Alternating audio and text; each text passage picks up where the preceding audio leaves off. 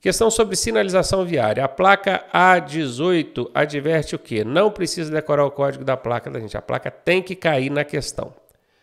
É, isso aqui parece um quebra-mola, né? Só que o nome disso na, na técnica mesmo não é quebra-mola. O nome é saliência ou lombada. Essa é a resposta. Depressão seria o quebra-mola invertido, né? Quando vem assim, aí faz isso aqui, ó. ó. É, não é o caso. Pista irregular é quando você tem várias curvas sucessivas. E ponte móvel é quando a ponte está levantada lá, você vê a pontezinha levantada dentro do, do sinalzinho aqui, também não tem nada a ver. Resposta aqui, saliência lombada mesmo.